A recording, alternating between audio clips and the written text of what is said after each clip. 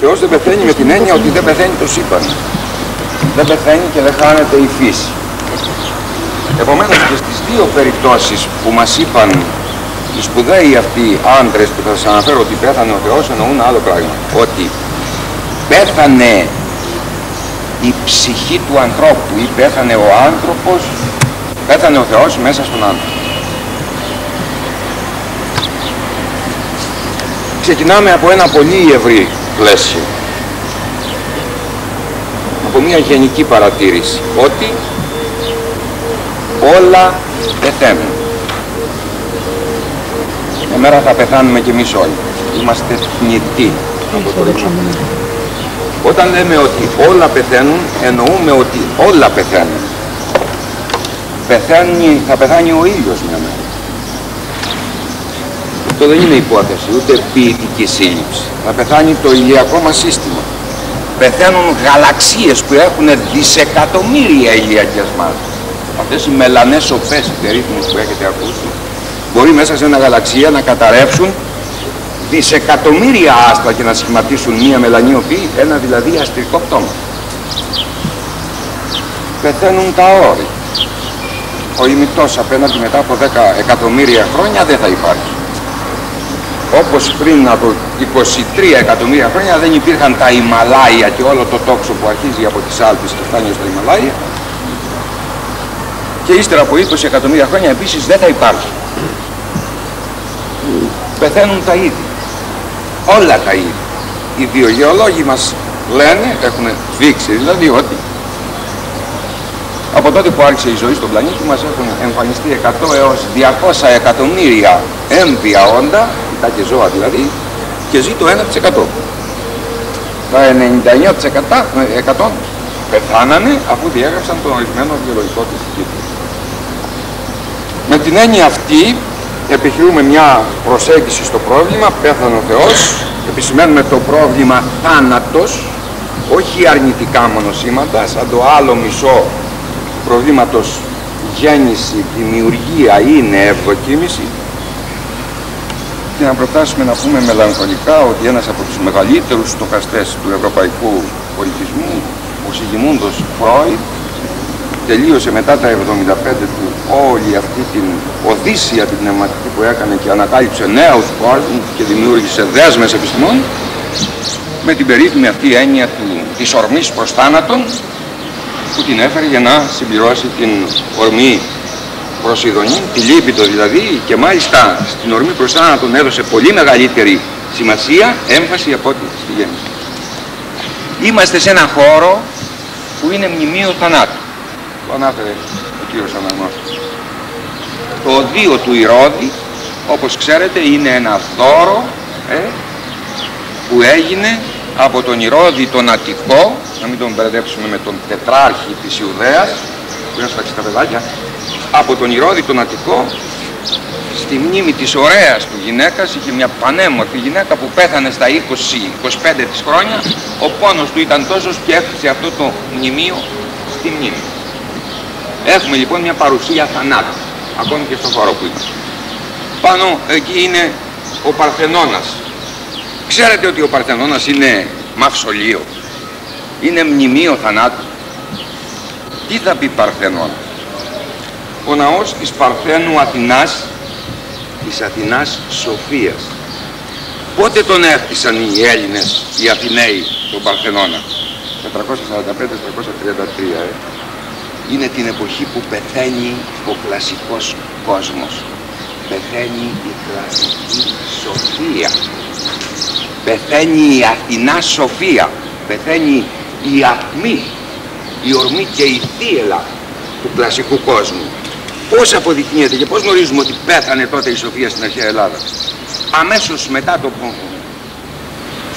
το, την αποπεράτωση του Παρθενώνα αρχίζει τι, ο Πελοποννησιακός πόλεμος που θα κρατήσει 30 χρόνια και θα καταστρέψει την κλασική Ελλάδα. Είναι μνημείο θανάτα ο Παρθενώνας. Με αυτή την έννοια λοιπόν λέμε ότι όλα πεθαίνουν και βέβαια όλα ξαναγεννιούνται, διότι αν πεθάνει μια μέρα ο ήλιος μας μετά από 5 δισεκατομμύρια χρόνια που λέμε, ξέρουμε ότι αυτή τη στιγμή στον ευέλωμα του Ορίωνα που λένε, υπέροχος αστερισμός, σήμερα δημιουργούνται καινούργιοι χιλιάδες αστέρες. Γεννιούνται δηλαδή καινούργια αστέρια.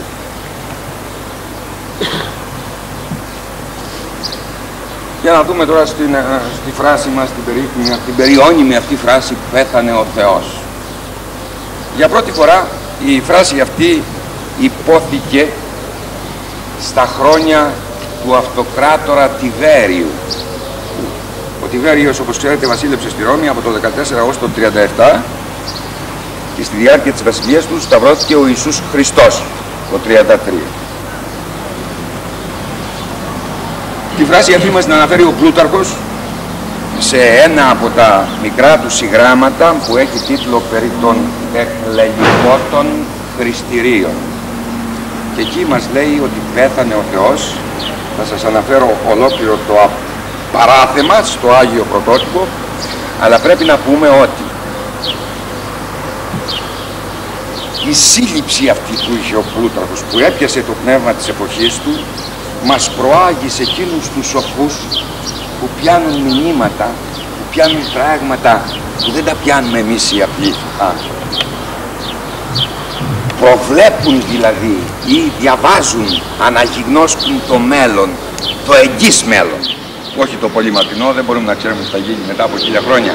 Αλλά αυτοί μπορούν να ξέρουν τι θα γίνει μετά από 50, 100 ή 200 χρόνια. Εδώ κάνω αναφορά, θυμίζω το περίφημο εκείνο ποίημα του καβάφη μας, του μεγάλου μας καβάφη, σοφή δε προσιόντων. Εκεί μας λέει ότι χωρίζει σε τρεις κατηγορίες από την άποψη της κατανόησης. Οι άνθρωποι κάτω χαμηλά, οι σοφοί, πολύ λίγοι, ψηλά ψηλά και στην κορυφή οι θεοί, όπως λέει, ή ο Θεός.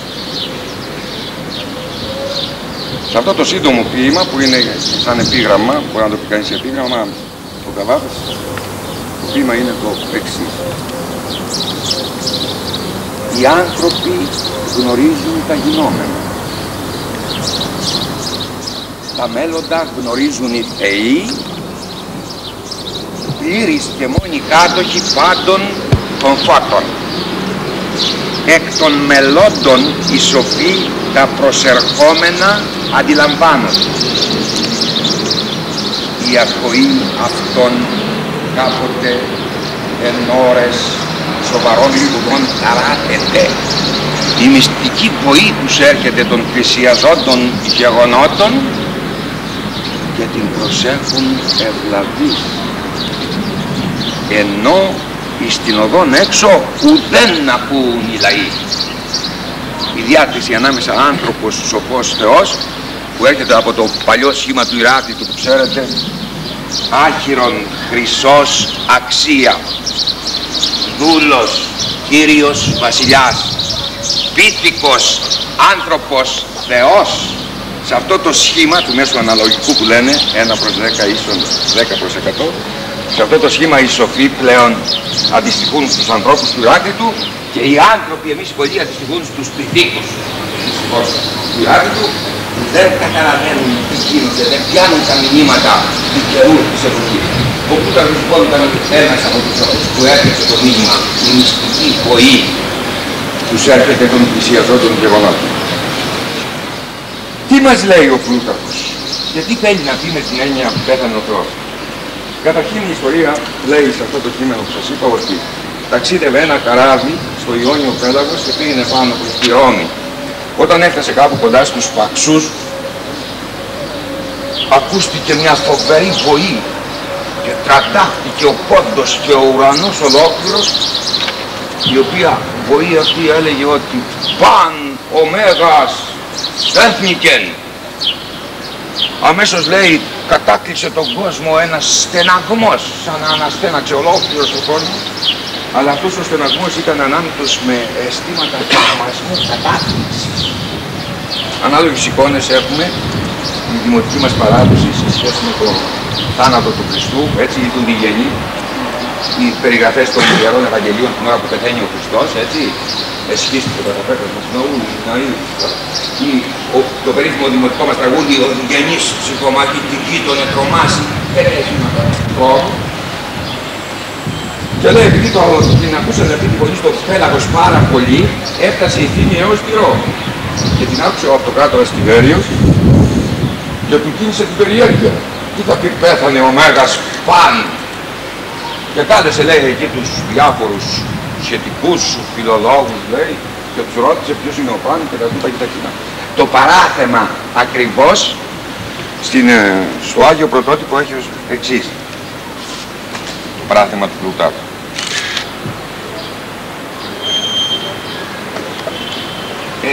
πρίμνης βλέποντα τον Θαμούν Θαμούν ήταν το όνομα του κυβερνήτη. Ήταν Αιγύπτιος λέει αυτός ο κυβερνήτης ο καπετάνιος του παραπληού εκπρίμνης βλέποντα τον Θαμούν προς την γην υπήνος περιήθουσεν ότι παν ο Μέγας τέχνικεν ου φθήνε δε παυσάμενον αυτόν και μέγαν γενέστε ούχενος αλλά πολλών στεναγμών άμα θαυμασμό με μειγμένο ή αδε πολλών ανθρώπων παρόντων ταχύ των λόγων εν Ρώμης και δασκήνε και τον θαμούν μετάπεμπτον γενέστε υπό την περίου Κέσαρος ούτω πιστεύσε το λόγο των κυβέριων ώστε διαπληθάνεστε και ζητήν περί του πανός δεν χρειάζεται να το μεταφράσω, το καταλάβατε. Πίστεψε και ζητούσε να μάθει το τι και το κόσμο. Εδώ το πρώτο πράγμα που μας σκανδαλίζει, ότι ζητάει να μάθει ο Τιβέριος ποιος είναι ο Θεός που πέθανε; Κατά την έννοια που ο τετράρχης Ηρώδης πριν από μία γενεά ρωτούσε να μάθει ποιος είναι ο Θεός ή ο Μεσσίας που έρχεται για να τον βρει να τον σκοτώσει ο συνδυασμός έχει μια κάποια σχέση.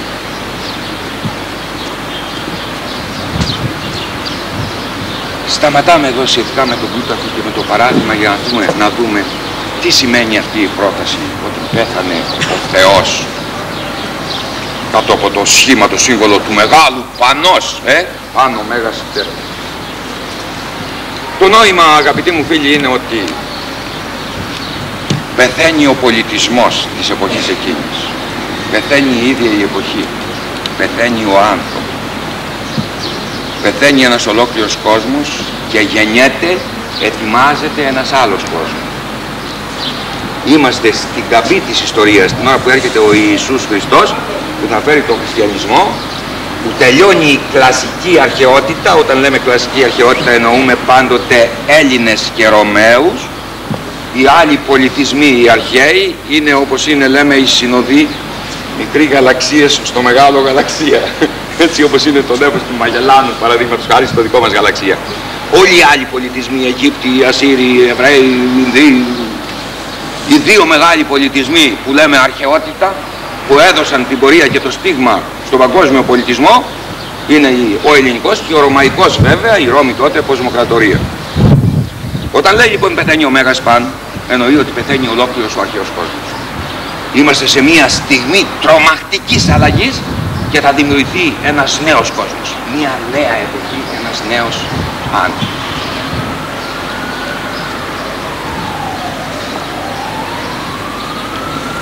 Το πρόβλημα είναι πώς τα νέα μηνύματα ή η νέα διδασκαλία ή ο νέος κόσμος ή ο χριστιανισμός που έρχεται εσκότωσε τον αρχαίο κόσμο.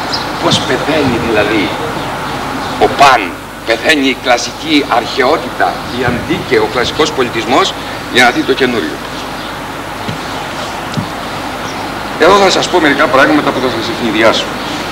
Δεν θέλω να τα υιοθετήσετε, απλώς θέλω να τα ακούσετε για να σταθούν σημεία προβληματικής με τον ίδιο τον εαυτό σας. Ποιος τον σκότωσε τον αρχαίο κόσμο; Ποιος σκότωσε τη Μεγάλη Ρώμη, να πούμε τη στιγμή εκείνη που ήταν η κοσμοκράτηρα. Ο Ιμπεράτορας, έτσι, ο αυτοκράτορας, ο Ρωμαίος, κυβερνούσε όλο τον κόσμο. κάτι αντίστοιχο με αυτό που λέμε σήμερα ο πλανητάρχης και εννοούμε τον πρόεδρο των Ηνωμένων Πολιτειών. Ποιος μπορούσε να σκοτώσει αυτή την αυτοκρατορία, αυτή τη δύναμη;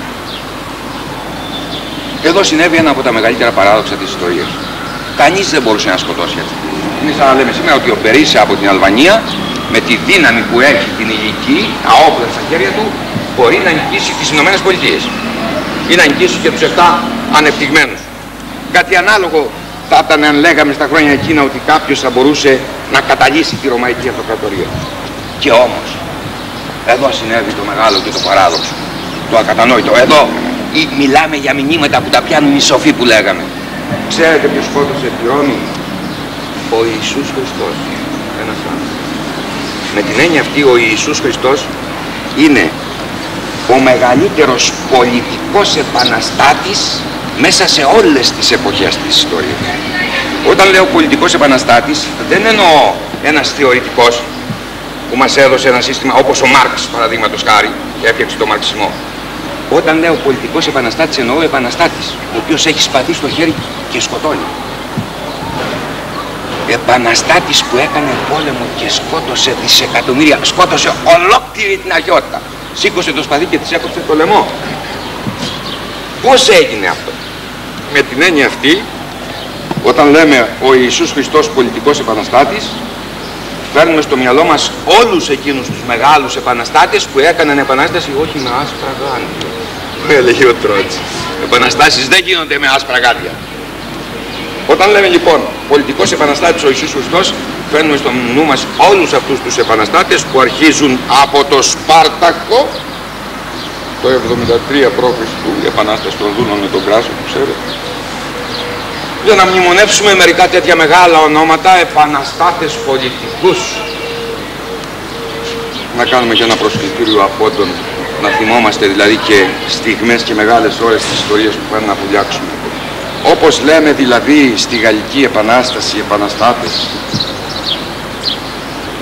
ο Κάμιλος Δεμουλέν ο Γεώργιος Δαντών η Μαντάμ Ρολάν, ο Βερνιέ, ο Κουτόν, ο Μαρά, ο Μυραμπό και πέστε τους πιο μεγάλους της Γαλλικής Επανάστασης, ο Σεν Ζίστ με τα 25 χρόνια, ο άγγελος του θανάτου που έσφαξε το μισό Παρίσι και προπαντός ο αδιάφορος Μαξιμιλιανός Ροβεσπιέρος. Με τέτοια έννοια μιλάμε για τον Ιησού Χριστό σαν επαναστάτη και να θυμηθούμε και μερικά ονόματα από τους μεγάλους Βολσεβίκους να κάνουμε προσκλητήριο πρώτον, θα σας πω λίγα μόνο ονόματα από το τελευταίο συνέδριο που προείδρευσε ο Λένιν, το 10ο συνέδριο. Ονόματα μεγάλων Βολσεβίκων επαναστατών που όλοι θα πέσουν να τους φάει η Επανάσταση όπως έφαγε και τους στη Γαλλική Επανάσταση. Που ξέρετε; Ο Σβερντλόφ ο Καλίνιν ο Μπουχάριν Νικολάη Μπουχάριν ο Ζινόβιεφ, ο Κάμενερ, ο Τρότσκι, ο Σερεμπριακόφ, ο Ριαζάνοφ, ο, Πι, ο Πιατακόφ, ο Τόμσκι, ο Ράντεφ, ο Ρίβο, ο Κύροφ, ο Γρηγόρη Κωνσταντίνοβιτς, ο Ορτσονικίτσε. Και όλοι οι άλλοι, αναφέρω μόνο από το 20ο συνέδριο, που αλλάξανε. Ή τουλάχιστον φέρανε αυτή την επανάσταση στον 20ο αιώνα με την επανάσταση των Βολσεβικών. Όταν λέμε λοιπόν ο Ιησούς Χριστός ήταν επαναστάτης, εννοούμε τέτοιος επαναστάτης. Ποια είναι η επανάσταση θα μου πείτε που έκανε και πώς το έκανε αυτό το κατόρθωμα ώστε να καταστρέψει ολόκληρο τον αρχαίο κόσμο. Να τον αφανίσει και να γεννήσει τη νέα εποχή. Καταρχήν κάπου λέει στα Ιερά Ευαγγέλια, αν έχετε διαβάσει το κατά Ματθαίον, Ούκ βάλει ειρήνην, αλλά μάχεραν.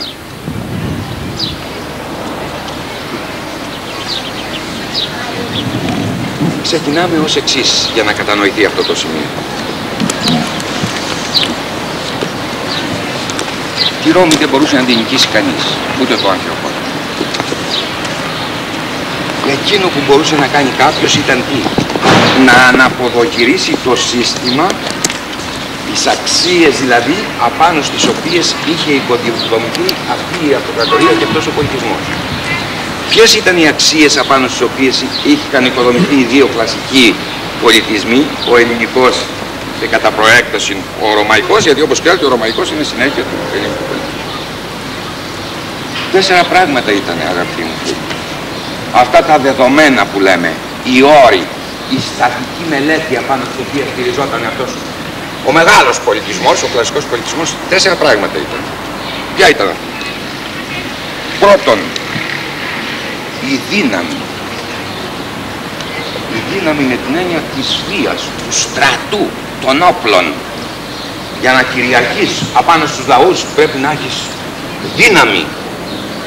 Στρατούς, οι φοβερές λεγεώνες, όπως θα έχετε ακούσει οι λεγεώνες, οι περίφημες ρωμαϊκές λεγεώνες, κάθε μία λεγεώνα, μονάδες με τρομακτική δύναμη πυρός. Δεύτερον στοιχείο, η δύναμη λοιπόν το ένα, το κρατάμε. Δεύτερο στοιχείο είναι ο πλούτος. Αν δεν έχεις πλούτο, αν δεν έχεις υλικές δυνάμεις, δεν μπορείς να έχεις και στρατό, δεν μπορείς να έχεις και δύναμη που εφράζεται σε τελική ανάλυση σαν πολιτική δύναμη. Ο πλούτος λοιπόν. Τρίτον, η επιστήμη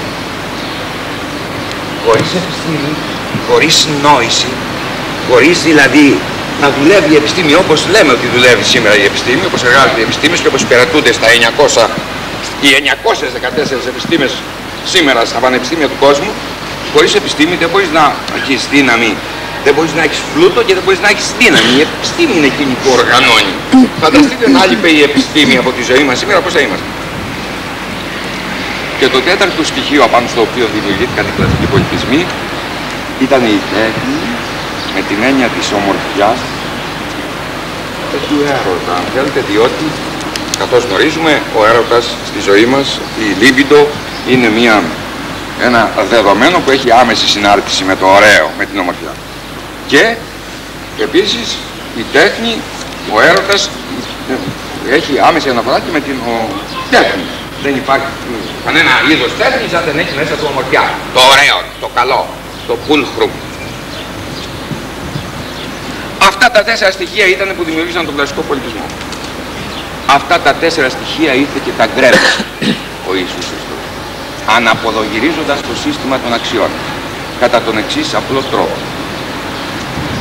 Πού στηρίζεται η Ρώμη; Στη δύναμη. Εμείς κηρύσουμε την αδυναμία. Την α βία, την άιν στη δύναμη. Σου δίνουν έναν κόλαφον, ένα ράπισμα, την παριά να στρέψει και την άλλη. Καμία αντίσταση. Αναποδογυρίζεται το σύστημα στο σημείο αυτό. Πού στηρίχθηκε η Ρώμη, στον πλούτο, η ηλική δύναμη. Εμείς κηρύσουμε τη φτώχεια. Ευκολότερο είναι να περάσει η καμίλα από την τριμαλιά της ραφίδας παρά ο πλούσιος να πάει στην βασιλεία των ουρανών. Μην δουλεύετε, μην εργάζεστε, μην κοιτάτε τον πλούτο. Θα τον ζητήσετε αλλού το πλούτο. Θα δούμε τις συνέπειες έχει αυτό, οι οικονομικές που λέμε. Ε, τι σημαίνει η οικονομία στη ζωή μας, σήμερα το ξέρουμε πολύ καλά. Μετά το κεφάλαιο του Μάρκ ιδιαίτερα. Επομένως, αναποδογυρίζει το σύστημα. Όχι πλούσιοι. Οι πλούσιοι είναι οι χαμένοι. Καμένα φύλλα, καμένα από χέρι. Τρίτον, Πού στηρίχθηκε η Ρώμη και ο κλασικός κόσμος, συνέχεια, συνέχεια του είναι η Ρώμη, στην επιστήμη, στη γνώση, στην γνήσια έρευνα, στην αναζήτηση. Η επιστήμη όπως ήρθε από τους Ιώνες φυσικούς και ολοκληρώθηκε στο Αριστοτέλη. Μακάρι η πτωχή. Δεν μας χρειάζεται η επιστήμη. Δεν θέλουμε επιστήμη. Μακάρι η πτωχή το θέμα. Βέβαια η η ερμηνεία που γίνεται από τους θεολόγους σήμερα είναι άλλη, ότι όταν λέει εκεί στην επιτόρηση ομιλία μακάρι η πτωχή το πνεύμα, τι εννοεί, ταπεινοφροσύνη κλπ. Δεν είναι αυτό. Κυριολεκτικά, μακάρι η πτωχή το πνεύμα, τι εκείνοι οι αδιάβαγοι, οι αναλφάβητοι που δεν μελετούν, που δεν γνωρίζουν κτλ. Και αυτό φαίνεται, αποδεικνύεται γεωμετρικά ότι έτσι έχουν τα πράγματα από τη συμπεριφορά της Εκκλησίας, της Ρωμαιοκαθολικής σε όλο το Μεσαίωνα πόσο, με πόση οργή και με πόση μανία πολέμησε την επιστήμη όταν επιχείρησε να ξεμηθήσει μετά την αναγέννηση και πιο νωρίς. Κάθε φορά που έβγαινε ο γιατρός ή ο μηχανικός ή ο αστρονόμος ή ο μαθηματικός κτλ. Η ιερή εξέταση, μιλώ για την ιερή εξέταση αγαπητοί μου, που έστειλε Γαλιλαίος και Ζορδάνο Μπρούνο και όλους αυτούς με πόση μανία επολέμησε την επιστήμη. Μία πρόταση που την είχε διατυπώσει πολύ νωρίς ο Ιερός Αυγουστίνος που είναι από τους μεγαλύτερους του θεωρητικούς της Ρωμαιοκαθολικής Εκκλησίας εκεί που λέει προσέχετε τους μαθηματικούς. Απευθύνεται στο χριστεπώνυμο πείραμα και λέει μακριά από τους μαθηματικούς είναι μεγάλος κίνδυνος. Και το τέταρτο στοιχείο η τέχνη σε συνάρτηση με την ομορφιά τέχνη σημαίνει ομορφιά, θαλερά σώματα, ολυμπιακό ιδεώδες αθλητικοί αγώνες, έτσι. Το ελληνικό άγαλμα, όλα αυτά τα πράγματα τα αντίστρεψε με την έννοια ότι ήρθε και καθιέρωσε και επέβαλε άλλες αρετές νηστείας, σαρακοστής, παρθενίας, καταπίεση με έναν ορισμένο τρόπο του γενετήσιου κτλ. Γιατί, επομένως αναποδογυρίστηκε ολόκληρη η διδασκαλία του χριστιανισμού στηρίζεται στο αναποδογύρισμα των αξιών, αναποδογυρίζει τις αξίες που δημιούργησαν τον κλασικό κόσμο και τις κάνει απαξίες, αρνητικά πράγματα, και τις απαξίες, αυτά που θεωρούσε ο κλασικός κόσμος ως ασήματα, άχρηστα, μηταμινά, ευτελή κτλ, τα υψώνει σε αξίες. Αυτό το πράγμα βέβαια είχε λογαριάσει το πού απευθυνόταν η διδασκαλία απευθυνόταν στο 98% του πληθυσμού της γης στην εποχή εκείνη αγαπητοί μου φίλοι. Η γη την εποχή εκείνη είχε 350 εκατομμύρια πληθυσμό. Είμαστε στην εποχή των Κεσάρων, στην εποχή του μεγάλου εκφυλισμού. Οι Δομητιανοί, οι Καλιγούλες, οι Νέρονες, οι Κλάβοι, ο Άρτος και Θεάματα, μία τάξη πατρικίων και υπέων, πολύ λίγοι οι ευγενείς είναι εκείνοι που έχουν όλο το, τη δύναμη και τον πλούτο και το μεγαλείο και την ε, απόλαυση και την προσφορά της ζωής και κάτω οι μάζες μπαίνονται με το φρικτότερο τρόπο, τους δίνουν ένα κομμάτι ψωμί, παίρνεις, πάλι το λέγανε και θεάματα να ξεχνιούνται, θεάματα δώσε στο λαό να ξεχνιέται, το περίφημο εκείνο. Επομένως, όλοι αυτοί είναι η δυστυχία, η πλειονοψηφία δηλαδή του πληθυσμού είναι αυτή η δυστυχία στην οποία βρίσκει αντίκρισμα η διδασκαλία. Τι έχουμε να χάσουμε ούτως ή άλλως; Είμαστε που είμαστε χαμένοι. Αυτό το πράγμα θα έχει τέτοια απήχηση στις μάζες ώστε μετά από 2,5 αιώνες, μόλις μπαίνει δηλαδή ο τέταρτος αιώνας, το 310-15, ξυπνούν οι πολιτικοί της εποχής θα λέγαμε, έτσι, οι Ρωμαίοι, και βλέπουν ότι το 90% του πληθυσμού της αυτοκρατορίας έχει γίνει, τι, έχουν γίνει χριστιανοί, αναγκαίως και εδώ θα κάνει τον ευφυή ελιγμό του ο Κωνσταντίνος και θα υιοθετήσει σαν επίσημη θρησκεία είναι μία από τις πιο ευφυείς πολιτικές πράξεις που έχουν γίνει στην παγκόσμια ιστορία. Θα υιοθετήσει τον χριστιανισμό σαν επίσημη θρησκεία για να αγκαλιάσει αυτές τις μάζες.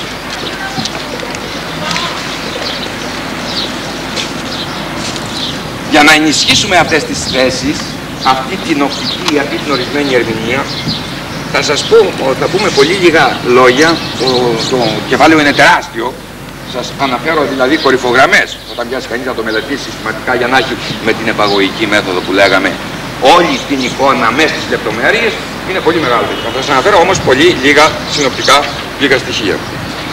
Μέσα στα Ιερά Ευαγγέλια ποιοι είναι οι πρωταγωνιστές;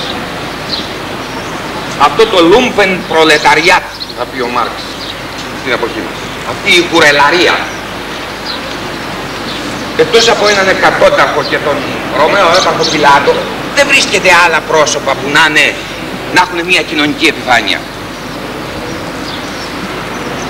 Ανάπηροι, άρρωστοι, φτωχοί, λεπροί, τυφοί, όλοι αυτοί είναι που είναι πρωταγωνιστές μέσα στα Ευαγγέλια. Κάπου μας το λέει ο Λουκάς, πολύ καθαρά, τυφλοί αναβλέπους και χολή περιπατούς λεπροί καθαρίζονται, φτωχοί ευαγγελίζονται, νεκροί ανίστανται. Δηλαδή όλος αυτός είναι λοιπόν μια ένδειξη αυτή ότι είναι ενάντια στο σύστημα, στην άρχουσα τάξη δηλαδή, ολόκληρη διδασκαλία. Ύστερα, μερικά στοιχεία που είναι πολύ διαφορετικά και έρχονται να επιβεβαιώσουν πλήρως αυτή την απόπειρα ερμηνείας είναι εκείνα που μας λέει ο, ο Παύλος στην προς Κορινθίους πρώτη εκεί το λέει καθαρά Θυμάστε τι λέει, ξέρετε προς Κορινθίου, λέει σε ένα σημείο. Αλλά τα μωρά του κόσμου εξελέξατο ο Θεός ή να τους σοφούς κατεσχύνει. Η επιστήμη που σας έλεγα. Και πιο κάτω λέει, αλλά τα, και τα ασθενή του κόσμου εξελέξατο ο Θεός ή να κατεσχύνει τα ισχυρά. Ποια είναι τα ισχυρά την εποχή εκείνη; Οι πατροί, οι άρχοντες, οι έπαρχοι, η κρατούσα τάξη, οι τελώνες, οι πλούσιοι, οι δημοσιώνες κτλ.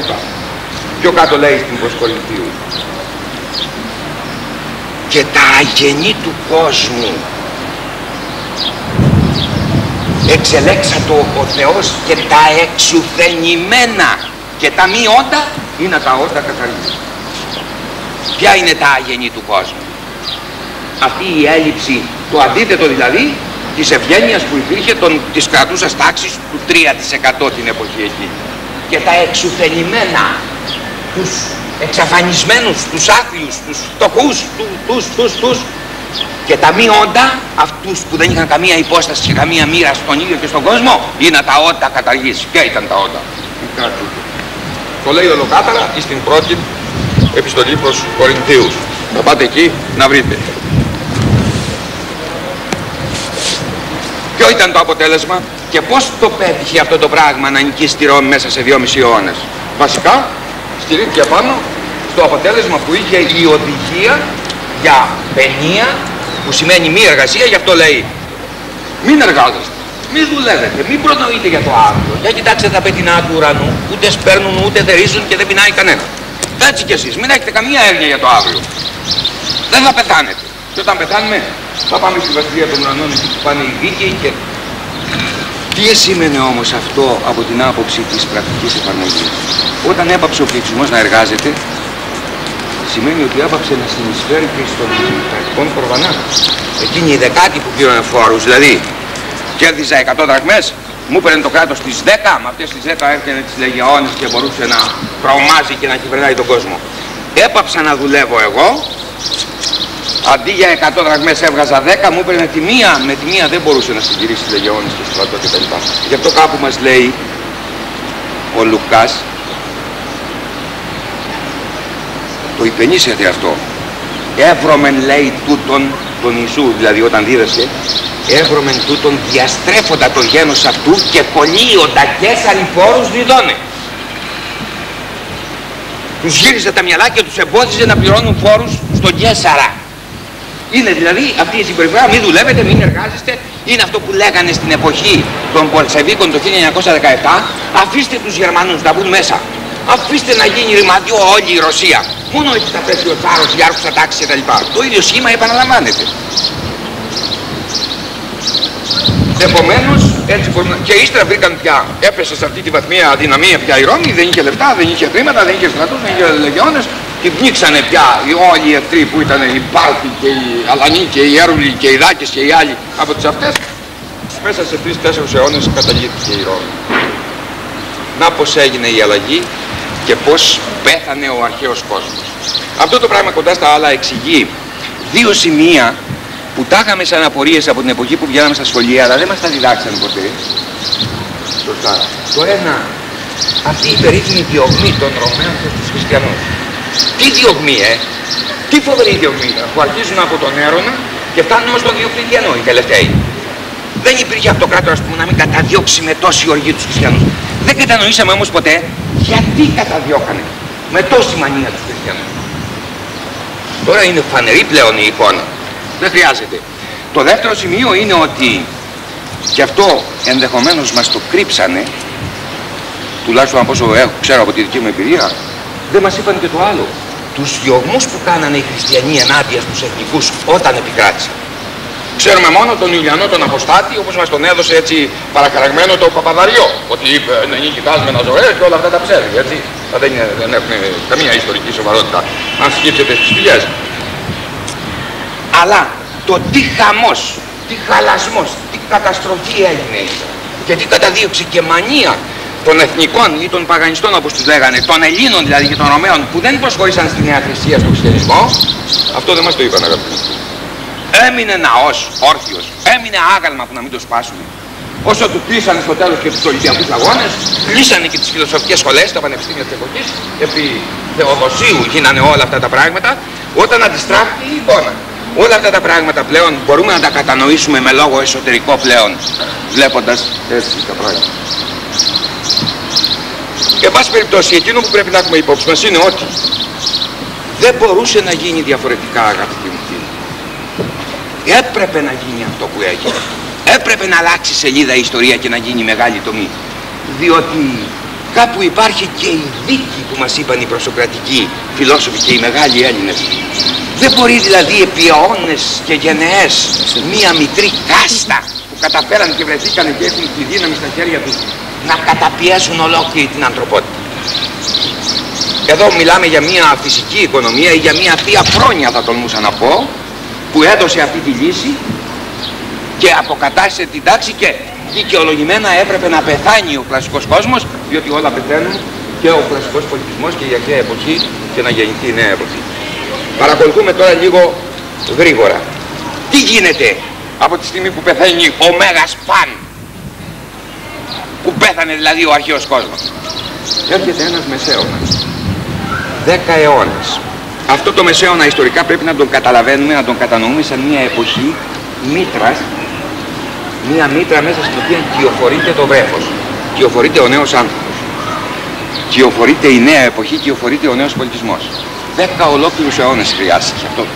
Τέτοιος σεισμός έγινε δηλαδή εκείνους τους τρεις αιώνες για να κοπεί το κεφάλι της αρχαιότητας να πεθάνει ο αρχαίος κόσμος, να πεθάνει η αντίκη και να δημιουργηθεί η νέα εποχή. Δέκα αιώνες λοιπόν κοίηση ως ότου αρχές του 12ου, 13ου αιώνα ο, στην Ευρώπη ο Μεσαίωνας ε, τελειώνει πολύ νωρίτερα από ό,τι σε εμάς, έτσι, εδώ στο Βυζάντιο. 12ος αιώνας, τέλος. 1321 πεθαίνει ο Δάντης, έτσι, και έχει πίσω του αφήσει την κομμωδία. Η κομμωδία είναι η ληξιαρχική πράξη του Μεσαίωνα. Αυτό το μεγάλο έπος, αυτό το μεγάλο έπος του Δάντη στην Φλωρεντία. Λοιπόν, όταν λοιπόν τελειώνει ο χρόνος της κοίησης γεννιέται ο νέος άνθρωπος. Ποιος είναι ο νέος άνθρωπος; Είναι ο Ευρωπαίος, ο ευρωπαϊκός πολιτισμός που γεννιέται με την αναγέννηση. Αναγέννηση όταν λένε που αρχίζει από το 13ο αιώνα αγαπητοί μου φίλοι. Ξέρετε τι σημαίνει ξαναγεννείται οι αρχαίες αξίες, οι ελληνικές και οι ρωμαϊκές. Βασικά οι ρωμαϊκές και λιγότερο οι ελληνικές. Έχουμε αντίστροφη εικόνα εμείς ε, για λόγους οβινισμούς και κακής διδασκαλίας. Λοιπόν, γεννιέται ο νέος άνθρωπος και από τότε έχουμε τον, παίρνει απάντο ο ευρωπαϊκός πολιτισμός με αυτά τα σημάδια και τα γνωρίσματα που έχει που ξέρουμε ότι κάπου πια είναι υπονομευμένα συμφιλιώνεται φαινομενικά, μιλάνε ότι συμφιλιώθηκε ο ελληνισμός και ο χριστιανισμός στην Ευρώπη ιδιαίτερα, ο ευρωπαϊκός πολιτισμός λέμε είναι ελληνογενής και χριστιανογενής, το εβραϊκό στοιχείο και αυτός ο πολιτισμός αφού τράβηξε το δρόμο του έφτασε σε μία δεδομένη στιγμή στο τέλος. Τώρα έχουμε το δεύτερο σημείο στη δεύτερη στιγμή ξαναπεθαίνει ο Θεός. Οι μεγάλοι αιματολόγοι, οι μεγάλοι δηλαδή αυτοί οι σοφοί που πιάνουν την βοή των γεγονότων που έρχονται που είδαν ότι με τον ευρωπαϊκό πολιτισμό έχουμε τέλος οι μεγάλοι αιματολόγοι, θα αναφέρω μόνο ονομαστεί μερικά ονόματα να μην ε, τραβήξουμε πολύ αρχίζουν από τον Χέλτερλιν το μεγάλο εκείνο γερμανό ποιητή που μίλησε για δίρτικε τσάι άθλιοι καιροί μικρόψυχοι καιροί πολύ νωρίς και από τους μεγαλύτερους φιλέλληνες έτσι ο Χέλτελιν τρελός 40 χρόνια που πέτανε σε πύργο ακολουθεί ο Ντοστογεύσκη που θα μιλήσει για δαιμονισμένους και περιγράφει τον άνθρωπο το δαιμονισμένο της σύγχρονης εποχής Στη συνέχεια έρχεται ο, ο T.S. Eliot που θα μιλήσει για έρημη χώρα. Ε, ένα από τα μεγαλύτερα ποίηματα του 20ου αιώνα, η έρημη χώρα είναι η έρημη Ευρώπη, έρημο Σαχάρα η Ευρώπη. Έχουμε τον Κάφκα το μεγαλύτερο ίσως συγγραφέα του 20ου αιώνα που περιέγραψε ανατριχιαστικά πια την αποσύνθεση του εσωτερικού ανθρώπου με τη δίκη και τον πύργο κυρίως Έχουμε το Σπέγκλερ που μίλησε για τη δύση της δύσης, το βασίλεμα δηλαδή του δυτικού πολιτισμού. Έχουμε το James Joyce, μιλάμε για πολύ μεγάλους συγγραφείς, ε. Τις κορυφές. Το James Joyce, αυτό τον Ιρλανδό με τον Οδυσσέα του, που μέσα εκεί διέλυσε ολόκληρο τον ευρωπαϊκό πολιτισμό. Μας έδειξε ότι δεν υπάρχει πια τίποτα. Έχουμε ακόμη ποιους, το Φρόιντ. Ο Φρόιντ είναι μαζί με δύο-τρεις άλλους από τα γενικότερα προϊόντα που ανάληξε ο ευρωπαϊκός πολιτισμός. Τα τελευταία του έργα είναι εκείνο το περίφημο das Unbehagen in der Kultur, το δυσάρεστο του πολιτισμού και το Jenseits vom Lustprinzip πέραν της αρχής της ειδονής που επισημαίνει το τέλος του ευρωπαϊκού πολιτισμού. Συνδυασμού με την εικόνα του θανάτου όπως την έπιασε. Και έχουμε και ένα μεγάλο Έλληνα αιματολόγο του πολιτισμού, αιματολόγο της λευχαιμίας που έχει ο σύγχρονος πολιτισμός, το μεγάλος μας Καβάφη. Ολόκληρη η φύση του Καβάφη, που είναι μία αναφορά στους Αλεξανδρινούς, εμπνέεται δηλαδή τα μοτίβα της παίρνει από την Αλεξανδρινή εποχή, είναι ένα σύμβολο, έτσι, είναι μια σήμανση συμβολική της παρακμής του σύγχρονου πολιτισμού, όπως ο πολιτισμός της παρακμής είναι ο Αλεξανδρινός και ο Ελληνορωμαϊκός που θα καταργήσει τον αρχαίο κόσμο είναι μια έμεση αναφορά και εδώ φαίνεται τον Καβάφη, το έχω πει χίλιες φορές, το λέμε στα μαθήματα κτλ. Δεν έχουμε αρχίσει ακόμη να τον ανακαλύπτουμε. Πόσο μεγάλος ποιητής είναι. Πώς πέθανε ο Θεός στη σύγχρονη εποχή, θα σας πω. Πώς και ποιος τον σκότωσε το Θεός στη σύγχρονη εποχή όπως στην αρχαία εποχή τον σκότωσε ο χριστιανισμός. Ακούστε είναι ο στοχασμός 125 από ένα βιβλίο που έγραψε στα 1882 ο Φρυδερίκος Νίτσε το μετάφρασα, είναι ένας στοχασμός μια σελίδα ολόκληρη. Το μετάφρασα για χάρη σας και σας το διαβάζω. Ο τρελός. Τόλεμαν Τόλεμενς δεν έχετε ακουστά για εκείνο τον τρελό που μέσα στον τάλα μεσημέρι άναψε ένα φανάρι όρμησε στη μέση την αγορά και φώναζε δυνατά. Ψάχνω για το Θεό. Ψάχνω για το Θεό εκεί υπήρχαν άνθρωποι πολλοί, πολλοί που δεν πίστευαν στο Θεό. Και ανάμεσά τους ο τρελός ξεσήκωσε άγριο γέλιο. Απολέστηκε λοιπόν είπε ο ένας. Μήπως έχασε το δρόμο του σαν τα μικρά παιδιά είπε ο άλλος. Μήπως κρύφτηκε κάπου ή βαρκαρίστηκε τάχα σε καράβι και έσυρε στην ξενιθιά έτσι ρώταγαν και γελάγαν τότε ο τρελός επίδειξε κατά μεσής τους άθεους και τους εκοίταξε άγρια ρωτάτε που πήγε ο Θεός εγώ θα σας το υπώ τους είπε τον εσκοτώσαμε εσείς και εγώ τον εσκοτώσαμε Όλοι εμείς είμαστε οι φωνιάδες του. Μα πώς το κάναμε τέτοιο κακό; Πώς εμπόρεσε και άδειασε, ποιος εμπόρεσε και άδειασε τη θάλασσα; Ποιος μας έδωκε το σπόγκο και σβήσαμε τους ορίζοντες; Πώς έγινε και απομαγνητήσαμε τη γης από τον ήλιο; Για πού τραβάει τώρα η γης; Εμείς, για πού τραβάμε χωρίς τον ήλιο;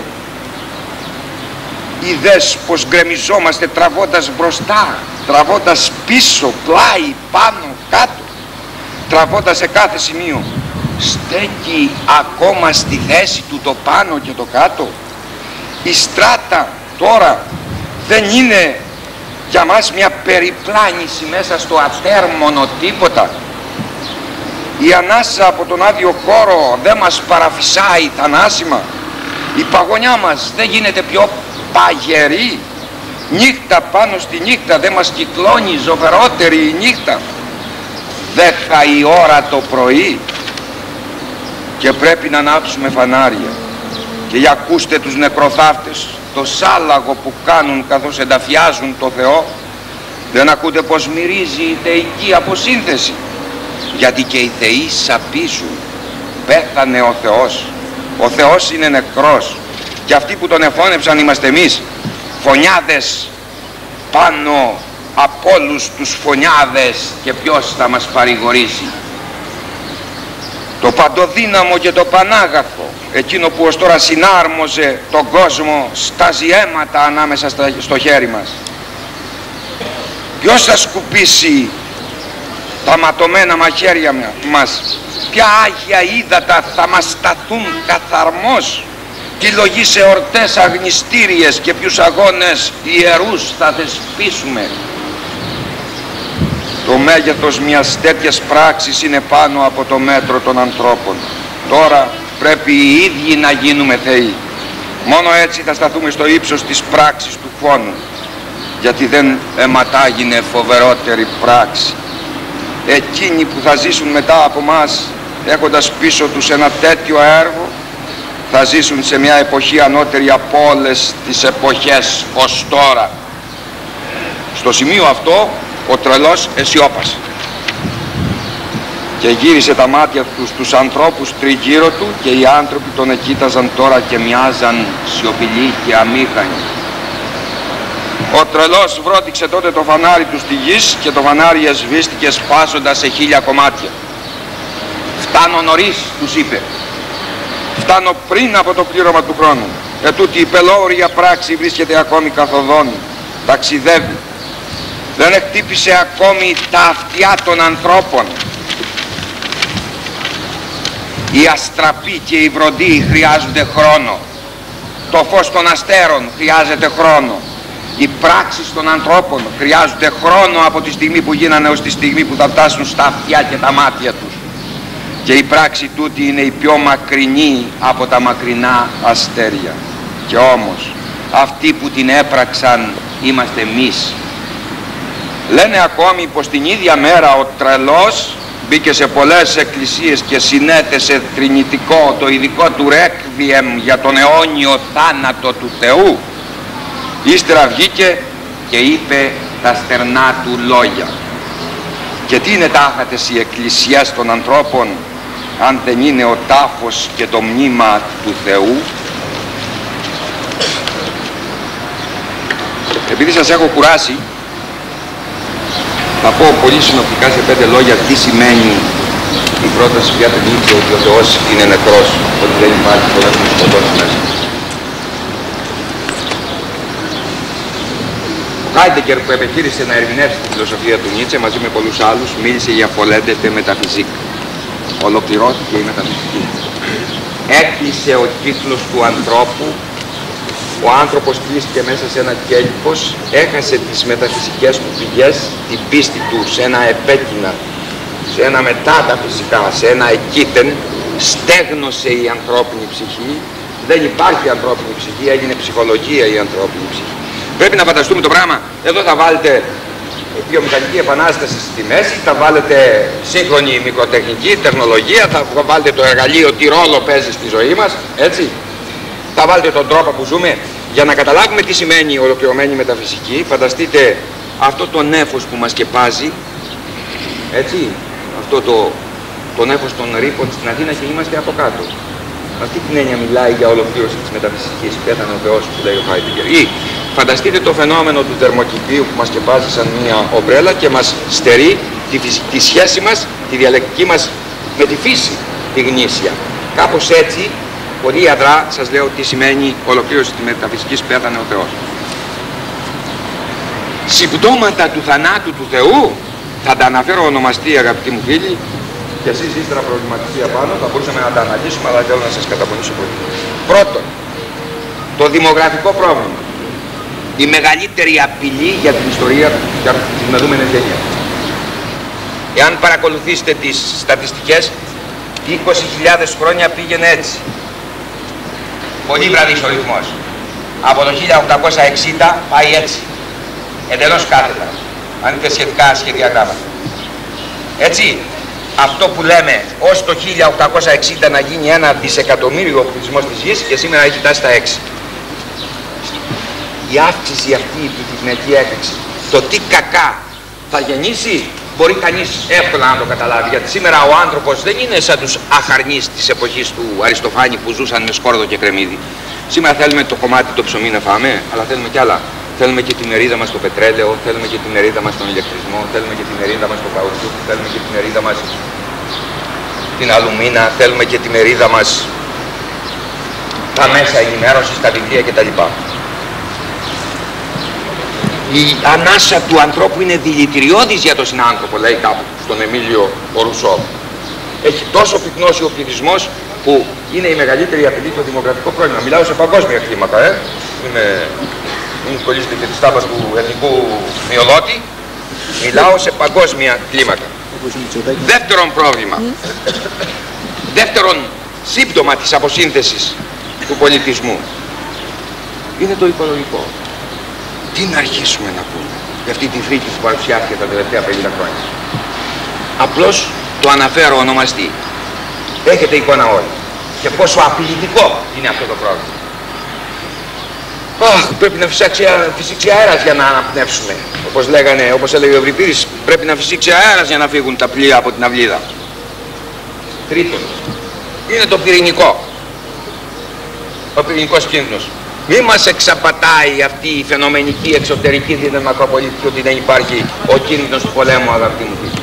Ο πόλεμος ήταν το σταθερό σύνδρομο του ανθρώπου. Τι γίνεται πάνω σε αυτό το χώρο; Ο Αϊνστάιν και ο Φρόιτ σε μια αλληλογραφία που είχαν, είχαν πει ότι για να γλιτώσει ο άνθρωπος από τον πυρηνικό όλεθρο και τον εξαφανισμό του πρέπει να αλλάξει δομή σκέψης. Ξέρετε τι σημαίνει αυτό. Να πάψει να βλέπει με εντελώς διαφορετικό μάτι. Αλλά πάνω σε αυτό δεν έχουμε δει κανένα δείγμα και καμία πρόοδο. Ο άνθρωπος σκέπτεται με τις παλιές ιστορικές κατηγορίες ενώ έχει γίνει αυτή η φοβερή τομή, το πυρηνικό. Τέταρτον, είναι το υπεριαλιστικό. Ο πλανητάξης μετά μάλιστα την κατάρρευση του, των χωρών του υπαρκτού σοσιαλισμού, ο πλανητάρχης που λέμε σήμερα, ένας νέος Τιβέριος δηλαδή, ή ένας νέος Καλιγούλας, γιατί ο Τιβέριος ήταν και βασιλιάς φιλόσοφος, ε. Και κυβέρνησε ένας νέος Καλιγούλας, νέος απλά σχεδόν και όμως πλανητάρχη, ποιος παίρνει τις αποφάσεις. Και όλοι αυτοί, όταν λένε υπεριαλιστικό με την τρομακτική αδικία στα 4,5 δισεκατομμύρια άνθρωποι. Αυτή η ασυτεία και η αβιταμίνωση για να ζήσουν αυτές οι 7 ανεπτυγμένες χώρες. Το πρόβλημα λοιπόν το υπεριαλιστικό συναφές με αυτό είναι και το πρόβλημα των, της λαθρομετανάστευσης δεν το έχουμε συνειδητοποιήσει πόσο έχετε απλητικό όλα αυτά τα δισεκατομμύρια από τον τρίτο κόσμο που βλέπουν σαν παράδεισο την τις χώρες αυτές στην Ευρώπη και τα λοιπά είναι δείγματα εκείνου που έγινε στην ιστορία με τους Αττήλες, οι μεγάλες μεταναστεύσεις των λαών αμέσως μετά τους πρώτους μεταξυδελικούς αιώνες, η Τζιγις Χάν και όλα αυτά τα πράγματα. Τι θα γεννήσει. Άλλο σύμπτωμα είναι η ανεργία η φοβερή. Είδατε εχθές για την κόρη κάποιου υπουργού μιλούσε ολόκληρη η Ελλάδα για μια θέση εργασίας. Ξέρετε τι μας περιμένει, τι περιμένει τα παιδιά με την ανεργία. με την έννοια αυτή και βέβαια δεν πρέπει να ξεχάσουμε το ευδαιμονιστικό ιδεώδες εποχής αυτή είναι η χολέρα στις χολέρες πια ότι ζητάμε συνεχώς υλικά αγαθά εξατλούνται οι φυσικοί πόροι αυτά που λέγαμε αυξάνει ο πληθυσμός αυξάνονται οι ανάγκες με γεωμετρικό ρυθμό πάμε δηλαδή κατά Κρυμνού και κατά Ισραήλ το ευδαιμονιστικό ιδεώδες, η καταναλωτική κοινωνία που λέμε, που είναι ανάγκη, δεν είναι πολυτέλεια για να συντηρούνται οι βιομηχανίες ή οι εργασίες, οι θέσεις εργασίας κτλ. Και να δούμε και λίγο στα δικά μας, πέθανε ο Θεός σημαίνει αγαπητοί μου φίλοι σήμερα πρώτα πρώτα ότι πέθανε ο δάσκαλος. Ποιος μας ακούει εμάς; Είμαστε 20 άνθρωποι και τα λέμε εδώ. Δάσκαλοι. Και εσάς το καθένα στο σχολείο το αύριο να τον ακούνε 20. Όταν βγαίνει όμως ο δημοσιογράφος αυτός ο, ο, ο, αμόρφωτος και ο ανεύθυνος και μιλάει στο τελεβίσιο τον ακούνε δύο εκατομμύρια. Αυτοί είναι οι δάσκαλοι σήμερα. Και αυτοί διδάσκουν. Και αυτοί διαμορφώνουν τη νέα αγωγή. Διαμορφώνουν τις νέες γενναίες. Πέθανε ο δάσκαλος. Δεύτερον πέθανε το βιβλίο. Ποιος διαβάζει σήμερα βιβλία; Έχουμε το τελεβίσιο και τα βλέπουμε όλα έτοιμα έχουμε το θέαμα και διασκεδάζουμε ξέρετε τι φοβερό κακό είναι αυτό για τον άνθρωπο. Πού είναι το μυστικό του βιβλίου αγαπητοί μου φίλοι; Το μυστικό του βιβλίου είναι ότι διαβάζοντας μία σελίδα συνοδεύεσαι με την ανάγκη να μάθεις το πολιτικό σύνδρομο που λένε. Αυτό το στοιχείο έχει εξαφανιστεί από τα θεάματα και τα ακροάματα. και ο άνθρωπος μένει σε μια επιφάνεια, μια εντελώς επιπόλαιη, ημιμάτια δηλαδή, πέθανε το βιβλίο. Πέθανε ο ποιητής από την εποχή του Χέλτερλιν, όπως το είπε και ο Γιώργος Εφέρη. Δεν ξέρω ότι οι ποιητές και οι άλλες να μην τρόψει το καιρό. Σήμερα όλοι είμαστε ποιητές, αλλά ποιητή δεν γίνεται. Χάθηκε ο ποιητής. Πέθανε ο ποιητής. Τώρα που κανείς δεν πενθεί τα ειδόνια και όλοι γράφουν ποίηματα, θα πει πολύ νωρίς ο Οδυσσέας Ελίσσης. Τι άλλο πέθανε, πέθανε ο έρωτας. Αυτά τα πορνοβίδεο που βλέπουμε κάθε βράδυ για να έρθουν να εξυπηρετούν τους δικούς τους λόγους και τα λοιπά. Τι είναι αγαπητοί μου φίλοι αυτά τα πράγματα; Και άλλη φορά το έχουμε πει και στα μαθήματα. Είναι το τραγούδι των Σιρήνων που το ακούγανε οι σύντροφοι και γέμιζε από κάτω ο τόπος κόκαλα. Ο Ερηνεός λέει ήταν γεμάτος κόκαλα. Το που οδηγεί αυτό το πράγμα και πόσο εκφυλίζει τον άνθρωπο σε σχέση με αυτό το υπέροχο φαινόμενο τον έρωτα. Πέθανε το σώμα, ο αθλητισμός. Τι είναι όλα αυτά τα πράγματα που βλέπουμε; Τα στάδια και τα γήπεδα και οι χουλιγκάνοι και οι...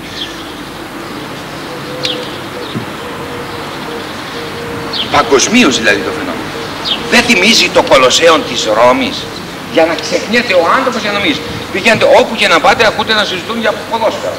Στα χουρία, στα μαγαζιά, στα ταξιά κτλ. Αυτή είναι η ιδέα.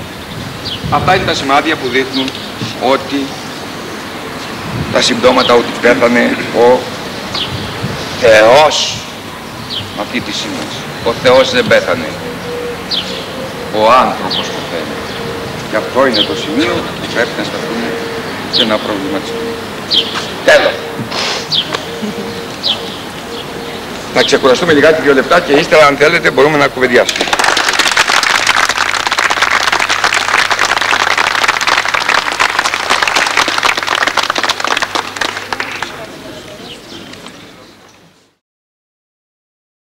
Ενδεχομένως δεν μου δόθηκε ευκαιρία προηγουμένως ότι η χριστιανική διδασκαλία σαν μια καθαρή διδασκαλία και πράξη είναι ένα από τα πιο υπέροχα προϊόντα του ανθρώπινου πνεύματος. Εάν δούλεψε έτσι την εποχή εκείνη, αντιστρέφοντας τις αξίες, ήταν η ιστορική αναγκαιότητα. Αλλά η χριστιανική διδασκαλία, σαν διδασκαλία καθεαυτή, όπως ακριβώς περιγράφεται στα Ευαγγέλια, είναι από τις πιο υψηλές και υπέροχες συλλήψεις. Η διαφορά όμως είναι ότι κανένας από εμά δεν είναι χριστιανός όπως διδάσκουν τα Ευαγγέλια. Αν ερχόταν δηλαδή σήμερα ο Χριστός και κατέβαινε εδώ σε εμάς, θα έλεγε εγώ δεν είμαι χριστιανός. Όπως είπε ο Φρόιντ, εγώ δεν είμαι φροηδικός. Και όπως είπε ο Μάρξ, εγώ δεν είμαι μαρξιστής. Τι θέλω να πω; Όλη η ουσία της χριστιανικής δασκαλίας είναι σε αυτή την απόφαση για θυσία σε σχέση με τον εαυτό μας. Αν είσαι δικός μου λέει ο Ιησούς Χριστός, θα σηκώσεις το σταυρό σου, την πλάτη σου και θα με ακολουθήσεις. Όταν το λέει αυτό, το εννοεί. Εμείς τι κάναμε, πώς είδαν και διαστρέψανε, γιατί είναι δύσκολο. Αντιλαμβάνεστε πόσο δύσκολο είναι αυτό. και φέρνει τον χριστιανισμό κατευθείαν στην αρχαία τραγωδία. Στα, στα πιο ουσιώδη δηλαδή του ανθρώπου και τα πιο μεγάλα. Εμείς αντιστρέψαμε αυτό το νόημα, γιατί δεν αντέχουμε αυτό το δρόμο, να ανεβούμε γολγοτά και είπαμε τι. Αυτό σταυρώθηκε για μας. Εμεί δεν σταυρώθηκε αυτός για μας. Αυτό σταυρώθηκε για τον εαυτό και ελίτρωσε το ανθρώπινο, αυτό το λένε, λένε οι παπάδες, για να διαιωνίζουν πια την εξουσία τους, γιατί εκείνοι που σταυρώσαν τον Χριστό όπως ξέρετε, είναι ποιοι; Οι παπάδες, το ιερατείο της εποχής. Οι ίδιοι οι παπάδες που σήμερα τον έχουν φλάπουρο και δεν έχουν καμία σχέση με αυτό τον Χριστό. Κοιτάξτε τι γίνεται εκεί πάνω στη Λάρισα. Για να φέρουμε ένα τυπικό παράδειγμα. Αλλά αυτό το πράγμα έχει καθολική ισχύ. Να δείτε τι κάνει το Βατικανό. Που εκεί είναι ο μεγάλος, τα 700 εκατομμύρια του Πάπα.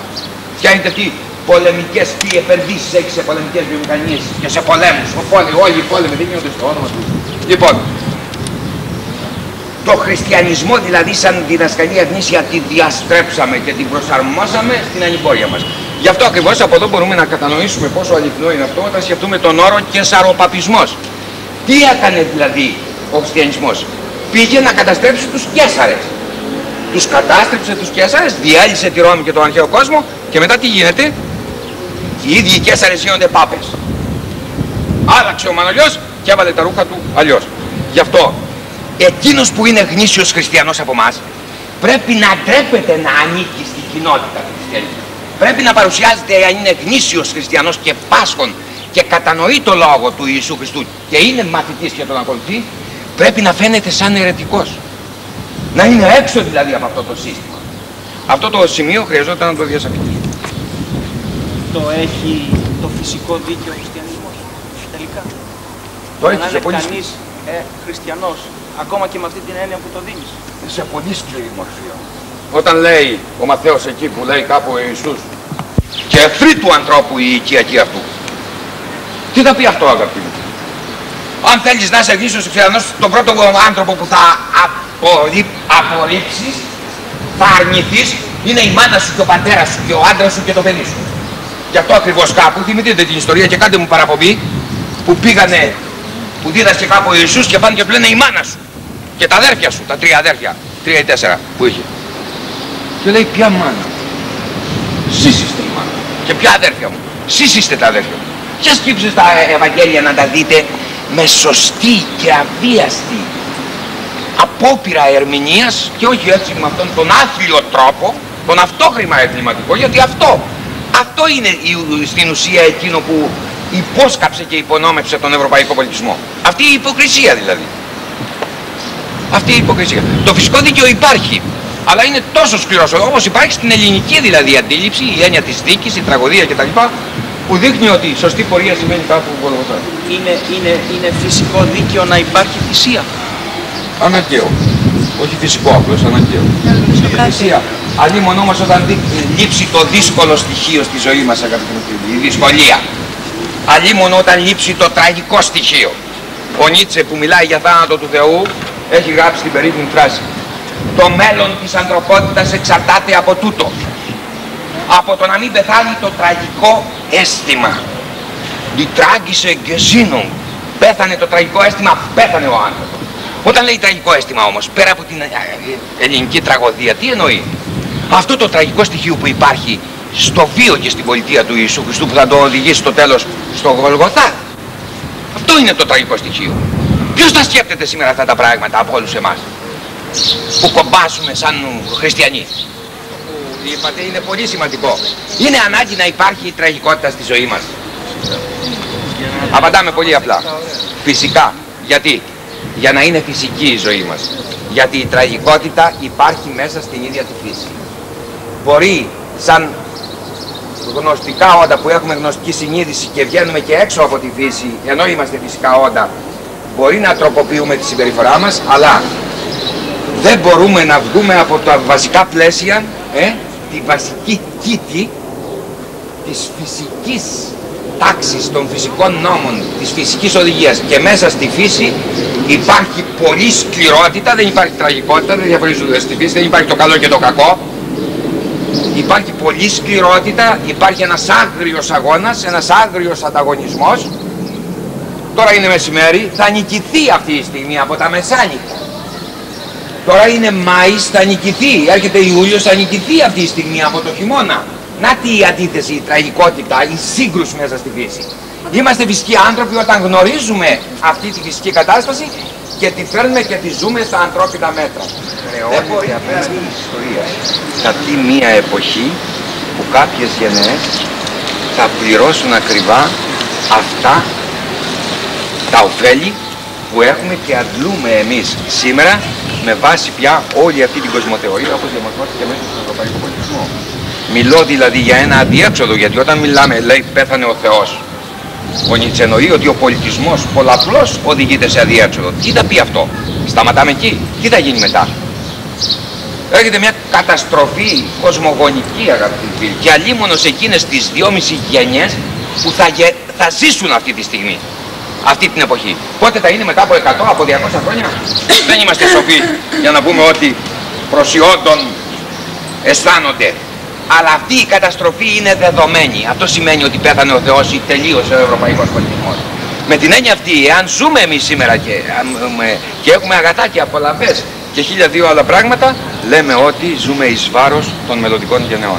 Χρεωνόμαστε, τις χρεώνουμε δηλαδή τις μελλοντικές γενιές μας. Κάπως έτσι. Επειδή είπατε για παρθενία, εγκράτεια, νηστεία, που σήμερα δεν βλέπω να υπάρχει. Δηλαδή το γυμνό κυριαρχεί, όπως κυριαρχούσε γυμναστήριο, σε τι γυμναστική. βαθμό υποκριτική είναι, η όχι, συμπεριφορά να- μας να η ολοκληρώσω. χριστιανική πια. Είναι επιστροφή στον αρχαιοελληνικό πνεύμα, σε κάποιο βαθμό, σε τι, βλέπετε ή όχι; σήμερα. Όχι. Πάντως έχουμε ξεφύγει από την Παρθενία, Όχι, την διότι στο Εγκράτεια. κλασικό ελληνικό, στην κλασική Ελλάδα, στους αρχαίους πολιτισμούς, υπήρχε αυτή η ελευθερία που ήρθε κάπως και την καταπίεσε ύστερα ο χριστιανικός με νηστείες, με αστικό σώμα, με σαρακοστές, με τούτα, με εκείνα, με παρθενίες κλπ. Αλλά υπήρχε μέσα σε μια διαδικασία φυσικής εξέλιξης που υπήρχε η οδύνη, ο κίνδυνος, το ρίσκο, αυτό που λέμε, που λέγαμε προηγουμένως ότι ε, ε, τη χαρά τη βρίσκεις μέσα στη δυσκολία. Ενώ σήμερα ο άνθρωπος είναι ευνοχισμένος 100% σε όλες τις Γι' αυτό είναι πλαστικές και ψεύτικες και οι χαρές που ζούμε. Δεν Γιατί, αντιδράσαμε. γιατί και στο σημείο αυτό δηλαδή δείχνει πόσο αντίστρεψε το χριστιανισμό και τον προσάρμοσε στα δικά του μέτρα. Τελικά πότε συντρίφθηκε ο κλασικός κόσμος με την έλευση του Δεν Ιησούς; ανά- Δεν έχω- Πότε συντρίφθηκε τελικά ο κλασικός κόσμος με την έλευση του Ιησού Χριστού ή αμέσως μετά τον Πελοποννησιακό πόλεμο; Γιατί είπατε και για τις δύο εκδοχές. Με τον Πελοποννησιακό πόλεμο τελειώνει η ακμή. Αυτή η εποχή του μεγαλείου. Η υψηλή ώρα της ελληνικής πόλης όπως λέμε. τελειώνει η νεότητα. Μετά πάμε σε εποχές παρακμής που είναι πέστε το τα γυρατιά και τα λοιπά. Αυτό διαρκεί ως την εποχή πια του Θεοδοσίου του Μεγάλου που πέφτει η αυλαία. Ως τον 5ο δηλαδή μετά στον αιώνα που πέφτει η αυλαία στον Όλος αυτός, όλοι αυτοί οι αιώνες είναι εποχή παρακμής του κλασικού κόσμου. Είναι η Αλεξανδρινή χρόνη και η Έλληνο-Ρωμαϊκή ή η επίγονη χρόνη των διαδόχων που λέμε είναι εποχή παρακμής που την άρπαξε ο Καβάθης όπως είπαμε και παίρνει τα μοτίβα του από εκεί να περιγράψει τον σύγχρονο άνθρωπο της παρακμής. Δηλαδή ο αρχαίος κόσμος θα τις συντριβόταν και αν, τα- και αν δεν ερχόταν ο Ιησούς Χριστός όπως πήγαινε. Αναγκαίος. Όλοι οι πολιτισμοί πεθαίνουν. Εδώ πάμε σε άλλη παράμετρο πια. Αυτό είναι το ιστορικό γίγνεσθε αγαπητοί φίλοι. Όλοι οι πολιτισμοί πεθαίνουν, όλοι οι εποχές πεθαίνουν, οι γλώσσες πεθαίνουν, έτσι. Όπως πεθαίνουν ακριβώς, όπως πεθαίνουν και άλλοι. Θα πέθανε κάποτε ο ελληνικός πολιτισμός. Συνάδελφος. Δυνατά. Ναι, ε, είπατε πριν ότι με τα θάνατο ζωή είναι ε, απάτη. Για τους Έλληνες, οι Έλληνες δεν πιστεύανε σε μετά θάνατο. Δεν είχαμε όμως και στον Πλάτωνα κάποιες Ο Πλάτων μιλάει για μετενσωματώσεις και μετεμψυχώσεις, αλλά είναι το τροτό σημείο όλης της πλατωνικής διδασκαλίας, γι' αυτό και οι φιλόσοφοι στην ιστορία του πολιτισμού τον κρίνουν ως ανατολίτικη γι' αυτό; Ότι δεν είναι καθαρά ελληνική η στάση του Πλάτωνα, δεν είναι καθαρά Έλληνα, είναι λίγο Ασιάτης. Ο Πλάτων εδώ που μας μιλάει για τις... Δεν είναι μόνο ο Πλάτων, είναι και άλλοι, είναι η Ορμική, είναι διάφορες άλλες διδασκαλίες, αλλά η κρατούσα η κυρίαρχη στάση σαν ελληνική, δηλαδή κοσμοθεωρητική θέση είναι ότι οι Έλληνες δεν πιστεύανε σε μεταθάνατο ζωή. Μέσα από την τέχνη μας είναι αυτές τις εικόνες για τις μίσους των μακάρων, για τα ηλίσια παιδεία κλπ. Αλλά η βασική τους θέση είναι έτσι όπως σας έχω πει στα μαθήματα, την, την έχει διατυπώσει ο, ο Όμηρος σε μία από τις πρώτες χαραψοδίες της Ιλιάδας ή υπερφύλλων γενεοί ή έχει ανδρών. Είμαστε σαν τα φύλλα των θέσεων. Το πρόβλημα ένα είναι από την προβληματική αυτή, ένα είναι το συμπέρασμα που βγαίνει. Αξιότιμοι συνάδελφοι, ότι η ωραιότερη στιγμή στην ιστορία του ανθρώπου ήταν η κλασική Ελλάδα. Δηλαδή έως το 476 π.Χ. θα πάμε πολύ πιο νωρίς από τον Παρθενώνα έως το 476 π.Χ. που αρχίζει μετά η κάμψη. Η εποχή του Περικλή, σας το έχω πει και το έχουμε πει και στα μαθήματα, το γράφω και στα κείμενα που έχετε, είναι εποχή έσχα της πολιτικής αποσύνθεσης. Αλλά ως την εποχή εκείνη τα πράγματα που πραγματώσανε οι Έλληνες δηλαδή και η εικόνα της ζωής που μας δώσαν έχει ένα μεγαλείο χωρίς προηγούμενο. Είναι μια μοναδική εποχή.